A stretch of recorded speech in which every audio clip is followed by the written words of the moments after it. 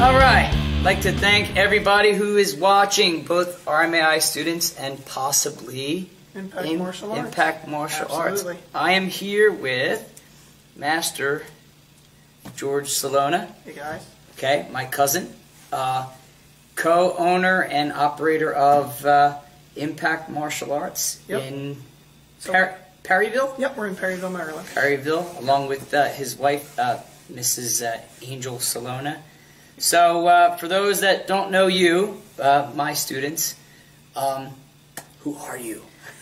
So my name's George Celona, obviously. Uh, Mike and I started Master Celona started training back in the early '90s. Uh, I think Master Celona started in 1990. Am I right about that? Okay. Yeah. So he started training back then, and we would watch a lot of Ninja Turtles and stuff like that, and hang out on the weekends. And he trying to convince me to join karate over and over and over again. Badgering. Yeah, finally, about a year in, I was able to do it and convince my parents, and uh, I was able to start. And I started at Shin Karate in Philadelphia in 1991, and I trained there for a few years uh, up to Chodanbo, which is um, black belt candidate.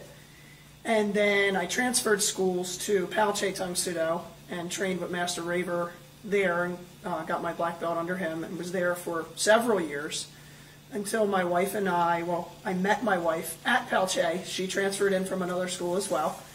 And um, a few years later, we decided to start our own studio, and we moved uh, our studio down to Perryville, Maryland. We were in a, an area where there's really not a whole lot of studios and things like that, and we've been running Impact Martial Arts there for the past 11 years. So. It's been really cool. 11 years. Yeah, Time flies. I know. It's crazy. Man. Uh, I remember because you know you had started just a few months before that with your first With, location uh, in yeah, Philadelphia. In Philly, yeah. So it was like not too long after that that we had opened our studio. Yeah. And I, I ran that school, I opened that school in what, September? September of 07. Right. and I owned it until uh, August of 2010 when I sold it to uh, my first instructor, uh, Lewis Marvel. Right. Uh, and after that, I, I worked for him for a year and a half or so before opening up here in in uh, 2012. Gotcha. So yeah, you've had uh, impact since since uh, Yeah, what, well, you were- 2008. Yeah, you were in in uh, you said September. We started that next June of Yeah. 08. Yep. and we started. We were actually we started in Aberdeen, Maryland. Um, we were there for a year, and then the owner of the building that we were leasing remember that. repurposed the building. Yeah. Didn't give us an option, so we had to move, and we moved uh, a little closer to home actually. So we were in Perryville, which was good, Yeah. and it's been good. Been there ever since. Yeah, I remember because you were at my grand opening in Philly. Yep. You and you and Angel, and uh, we did the demo, and I remember it being so hot that day. And then I want to say I was there. Was I there for your grand opening in Aberdeen, or were, was I there like a few weeks later, or you had an open now. house or something? You were at the open house. That's what exactly what it was. The uh, the grand opening you were not at. Um, and I remembered distinctly because my instructor, Master Yeah, Raver, car got in a car accident that day, That's right. and he drives. So the guy's a, a tall guy, you know, six four probably, and he drives a DeLorean, which is way too small for a tall guy. That's awesome. and he left our studio in his Dobok. So he gets he gets rear-ended by somebody, and gets out of the car. This giant man getting out of a DeLorean. Picture this: the door opening up, and this giant man getting out in his Dobok. The guy who was who hit him was like, "Oh my God, what did I just do?"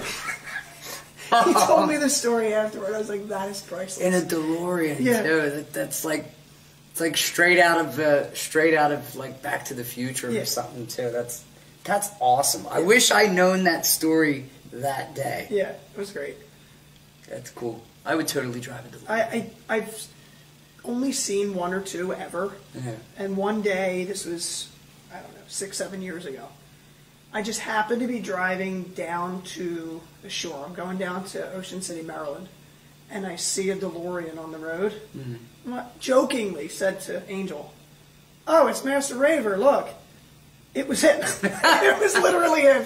Because we pull up behind and we see the license plate, and he's got um, a vanity plate, or he had a vanity plate at the time. And I saw, I'm like, oh my god, it actually is him. Like, what are the odds? That's pretty But then funny. again, how many people drive a DeLorean?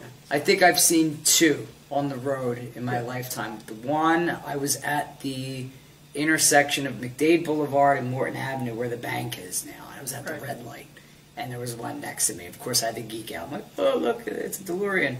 But I heard a side note. I heard two stories. One, I heard that a company purchased like the old DeLorean warehouse. Okay. So you can contact, and I forget what, what company it is. I don't know why I thought it was like Elon Musk or whatever, but purchased it because you know the story about John DeLorean, like he went to prison or whatever. Right, right. Um, supposedly, a company had purchased, and I could be getting this wrong, purchased the factory. So there's this giant warehouse of DeLorean parts that have never been used, and you can contact them, and they will build you like a 1983 DeLorean. That is But that's basically brand new. Yeah. You know, but I did hear that DeLorean was actually coming back and making a new DeLorean. I would love to see I, it. I heard that like relatively recently. That would be cool. So I would totally get one. Yeah, totally. I totally. totally get one, especially if it's got the, Yeah, especially the if it's wing got the doors. Yeah. You know, I guess uh, being a child of the '80s, you know, I guess that's uh, But yeah, I totally like forced my kids to watch that movie not that long ago. Yeah. Lydia loves it. She's like, "Oh, can we watch Back to the Future again?" I'm like, absolutely. Sure. Yeah. yeah. I the uh, it's funny. Like we were talking uh, before the uh, before the, the the thing started. Um, how my son's into Godzilla, and I can't say that I haven't had any influence in that Yeah, right. whatsoever. Sure. That and uh, Ghostbusters, and uh, you know, he's a little young for like the martial art movies, but I am so excited when he's like a teenager, and I say, look, this is Lone Wolf and Cub. oh my god. I, I got. I probably got to wait till he's at least 14, 15 Yeah, probably. to, to watch the Lone Wolf and Cub series. Well, how old were you? Think back. Probably not that old. But yeah, probably probably, too young to watch Yeah. Lone Wolf and Cub. Yeah, whatever. You know, but uh, you We know, any helicopter more than our parents did, for yeah, sure. yeah. But uh, with the we we could do a whole entire podcast just on martial arts movies and all the stuff that I probably forced you to watch when I would try Oh, to get Yeah, yeah. try to get you to stay up. You know, All hours of the morning. Yeah, because I was Oh I was God. the uh, I was the night owl, and Yes. Well, you would stay over.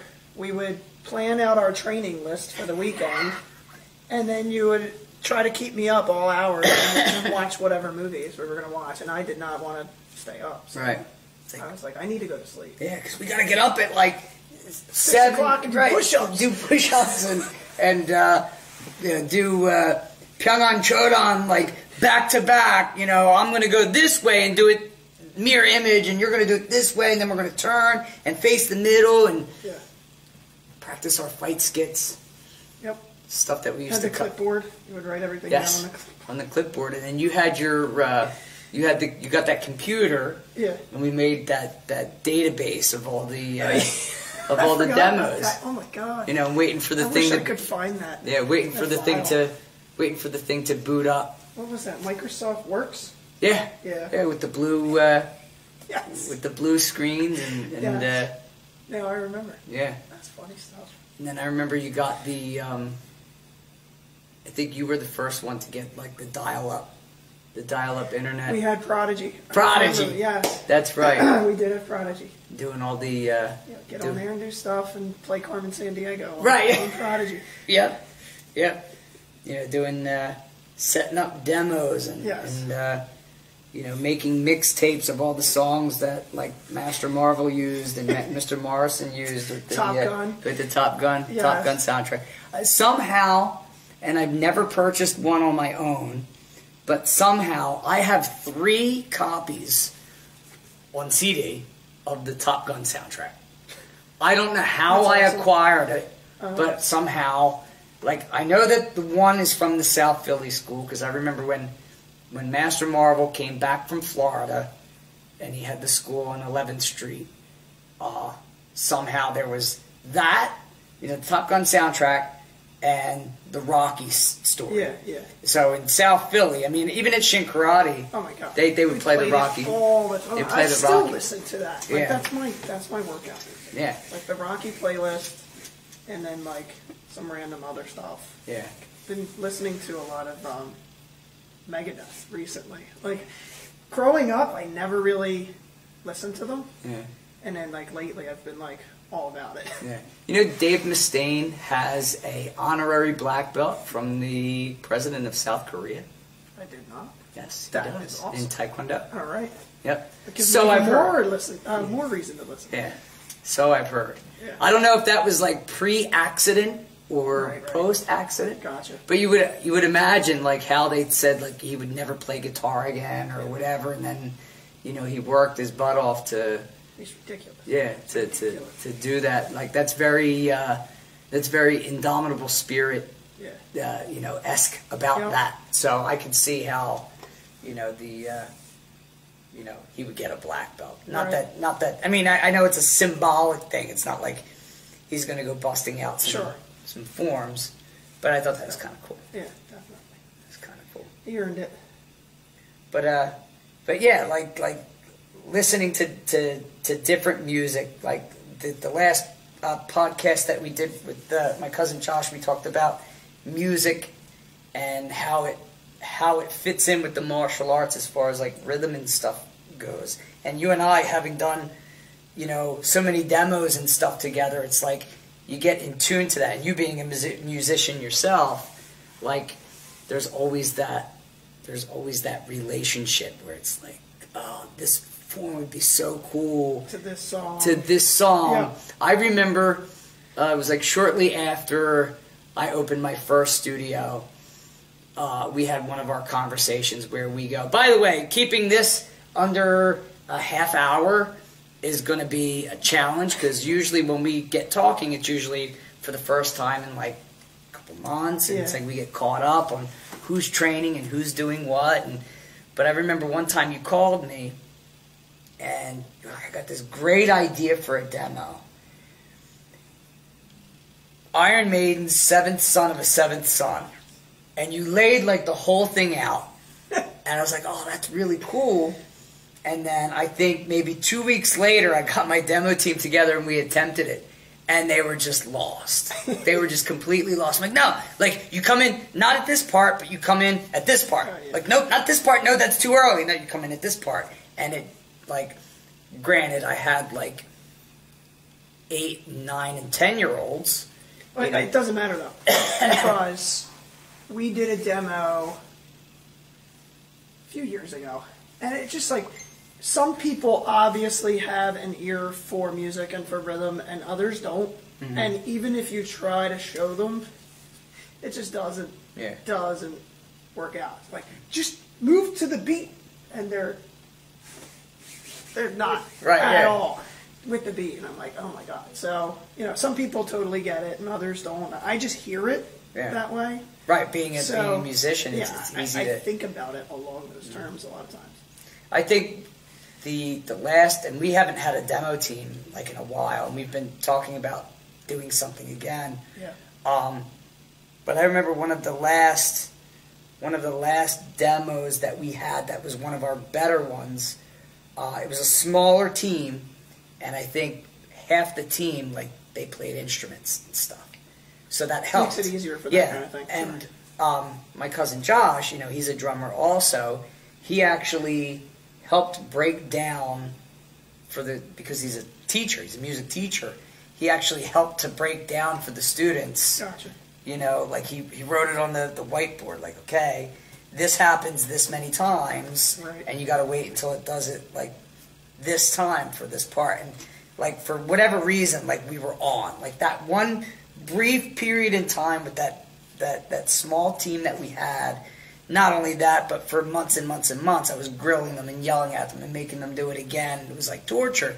And then it all came together in one performance, and it was awesome. And then it was like, okay, uh, let's see if we can do that again. And we, we never got it back to like where it was at that point, but for a brief period of time, like it just clicked, and you know, and, and I, and I'm sure I know you've had uh, you know, with the Region Eight tournaments and the demo team competition that's that you guys have done.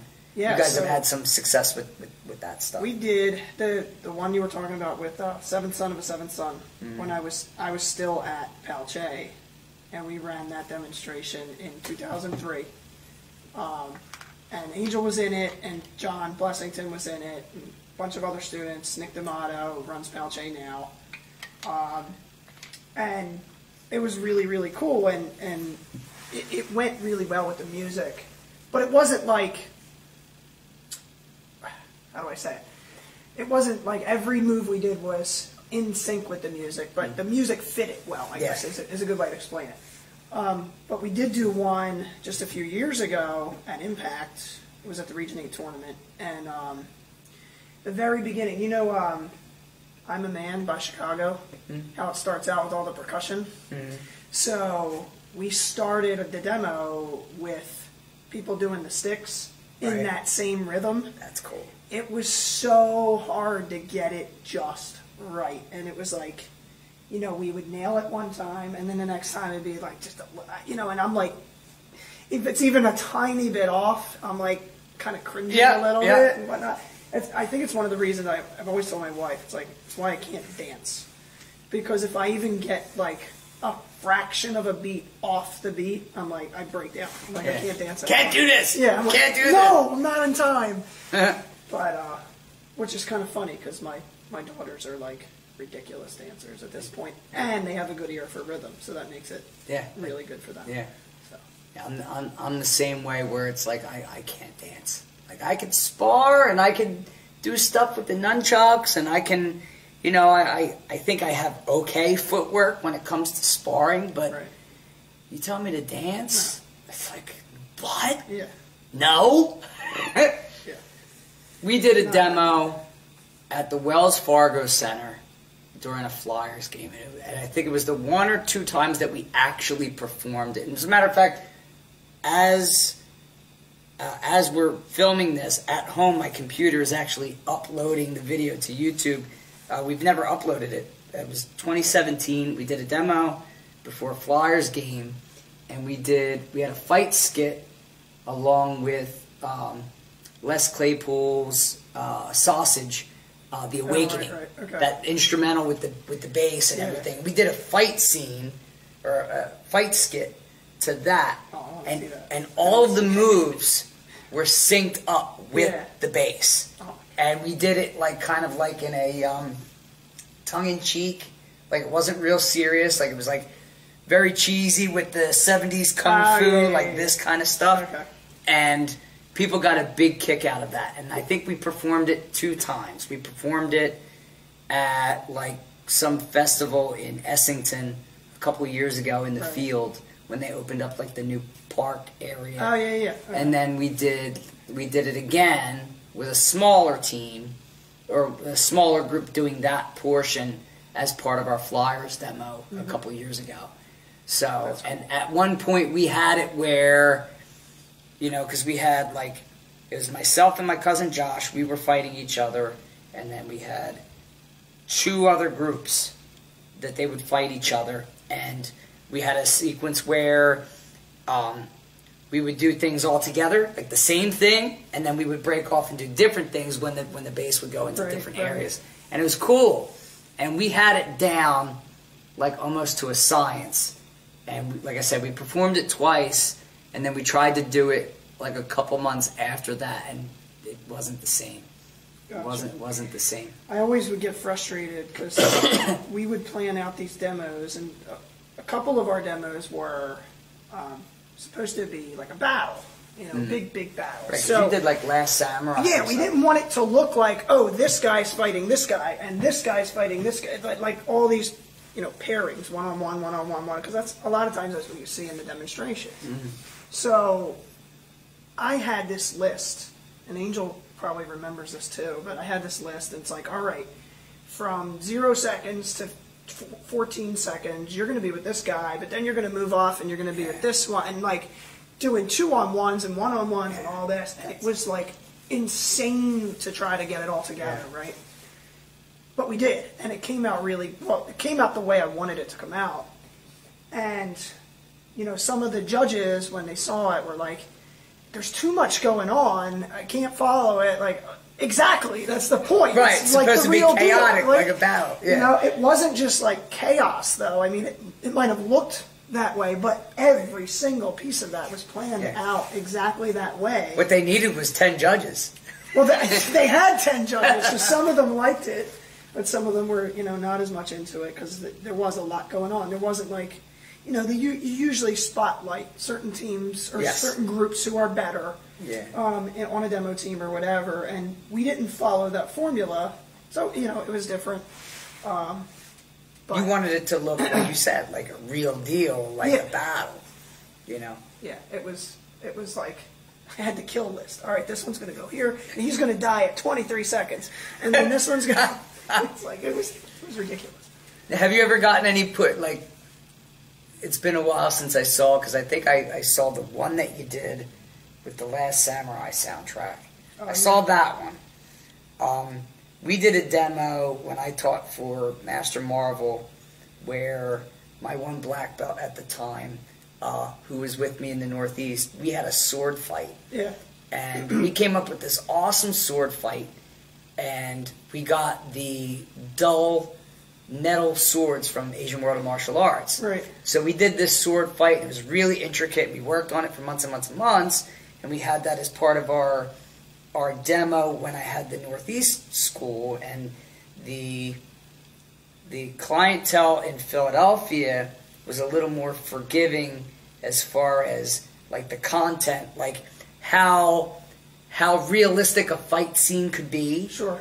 Um, so when her and I performed this same sword fight demo at a festival in uh, Chichester, there was a, a part where I go in for like a head cut, and she ducks under like you know ducks under my swipe, and slices my leg, and I come down to the knee like this. And she puts at the end of the fight, she puts the sword against my neck Yeah. and goes like that and kills Okay. me.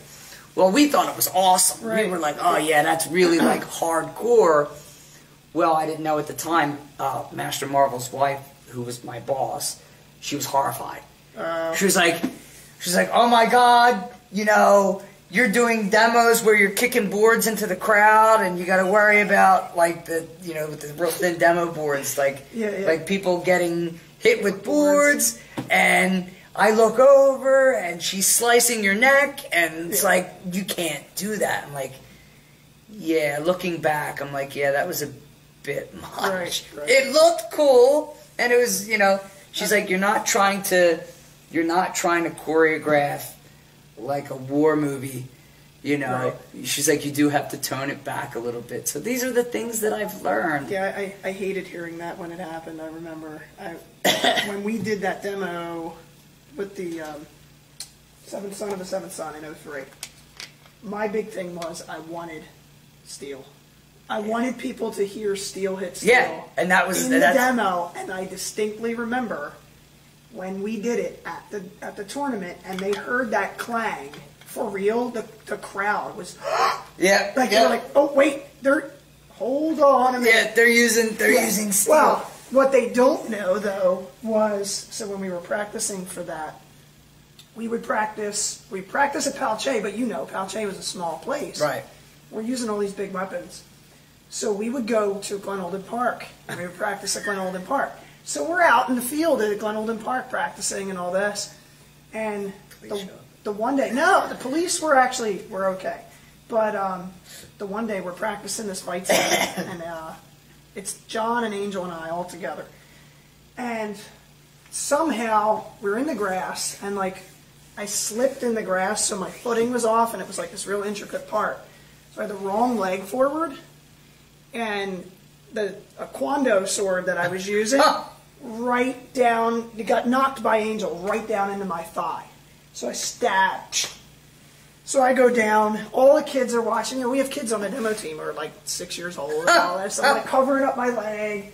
It wasn't a big deal. It was a couple stitches, but um, I'm like laying on the ground, covering it up. I'm like, all right, so guys, this is what we're going to practice next. And the rest of the adults are like, you need to go to the hospital. I'm like, I'm fine. Don't worry about it. Make sure they practice this part. Right? And then I you know, I finally go and all this. So it was like, yeah, I was like insane about it back Yeah. then. And the the year we did the Last Samurai, I don't think most people picked up on this. The few that did were like super appreciative of it. So, in the very beginning of our demo, it was like in the scene in the movie where the ninjas attack the village. Yes. Right? So Great movie. we wanted to kind of recreate that in a little bit. So we had this thing going on. Well, every demo team would like kind of sit together. Mm. Well, my plan was, no, the ninjas are going to be hidden. Nobody's going to know In they're the tournament, here. like in the crowd. So they were in the crowd. They were like under. We had like a platform they were under and all this stuff. So like when the ninjas attack, they're coming out of the crowd, and people are like, "What?" They're so confused. I was like, "That was awesome." That's awesome. Yeah, it was like one of the coolest things. Awesome. Yeah. Not everybody picked up on it, but I, I appreciated it. That's cool. Yeah. Now, see, I didn't know that because I think I, you know, seeing it on a video and it's like, you, you know, Bring as opposed to being there, what's that? As opposed to being there, and you're like, you think that, you know, the team that you're looking at that's up there, like that's it, that that's the team, and then you got people coming out of the woodwork. That's cool. I'm totally stealing that idea. Yeah, we have people time. coming out from behind the judges, Yeah. and judges are, what's going on here? Yeah, that's cool. that's great. That was fun. That's awesome. Anyway, so we are just about out of time. Like I said, keeping this under a half hour, like we could, like we only just scratched the surface of all the things that we could talk about.